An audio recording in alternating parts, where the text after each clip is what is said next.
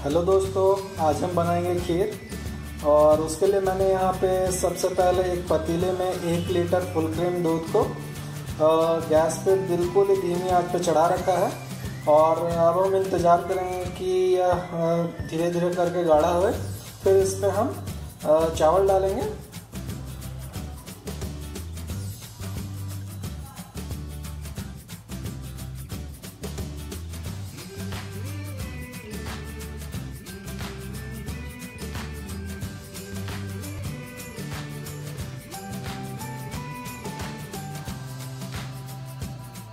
हमारा दूध यहाँ पर थोड़ा गाढ़ा हो चुका है।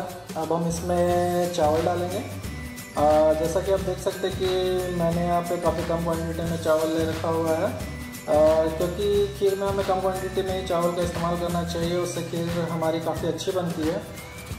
यहाँ पे मैंने तीन से चार चम्मच चावल ले रखे हैं और खीर के लिए हमारे मार्केट में यहाँ पे जीरा राइस अवेलेबल है तो मैं उसी का इस्तेमाल कर रहा हूँ। क्योंकि इसमें काफ़ी अच्छी खुशबू भी है और ये स्पेशली खीर के लिए आती है। आप चाहे तो अपने मार्केट में जो भी राइस खीर के लिए अवेलेबल है, उसका यूज़ कर सकते हैं। तो राइस को डालने से पहले आप उसे बिल्कुल अच्छी तरह से धो लें। और जैसा कि मैंने कहा राइस राइस की क्वांटिटी आप कम ही रखें। यहाँ पे मैंने एक लीटर दूध के लिए तीन से चार चम्मच रफली राइस ले रखा हुआ है। तो अब इसे हम दूध में डालेंगे।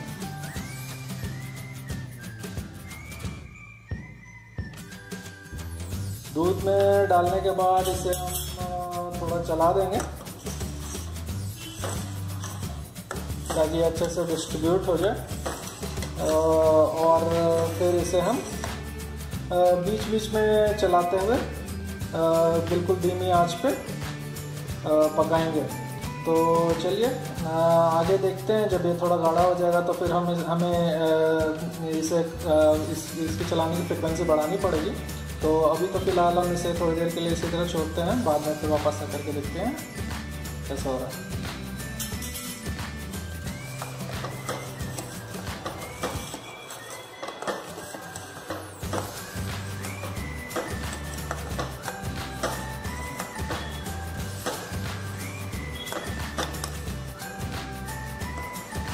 जब फिर थोड़ा गाढ़ा हो जाए तो आप इसे कंटिन्यूसली चलाते रहें और इसे बिल्कुल भी नीचे सटने ना दें।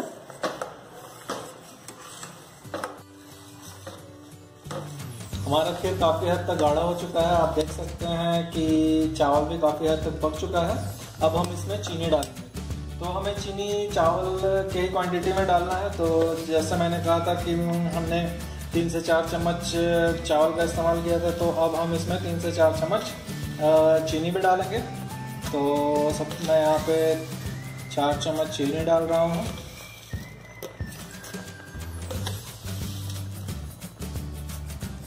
तो चार चम्मच चीनी खीर के अंदर गई। अब हम इसे अच्छी तरह से मिलाएँगे और जैसा कि मैं मैंने कहा था कि इसे अब हमें कंटिन्यूसली चलाते रहना होगा तो अब हम इसे कंटिन्यूसली चलाते रहेंगे ताकि ये बिल्कुल भी सटे ना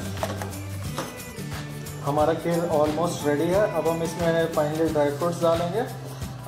तो यहाँ पे मैंने अपने पसंद के ड्राई फ्रूट्स ले रखे हैं। आप अपने पसंद के ड्राई फ्रूट्स अपने इसमें ऐड करके डाल सकते हैं। और साथ ही हम इसमें इलायची भी डालेंगे। तो इसे हमने खीर में डाल दिया। अब हम इसे फाइनली चला करके और गैस को बंद कर देंगे। और जैसा कि हम जानते हैं खीर लोगों को ठंडी पसंद आती है। तो आप इसे ठंडा होने के लिए छोड़ दें। फाइनली हमारा खीर हो गया है रेडी और आप देख सकते हैं कि यह काफ़ी टेस्टी दिख रहा है और काफ़ी गाढ़ा भी है। आप भी इस रेसिपी को ट्राई करें और खीर को बनाएँ। आज के लिए बस इतना ही, हम फिर मिलते हैं। Thank you bye bye see you soon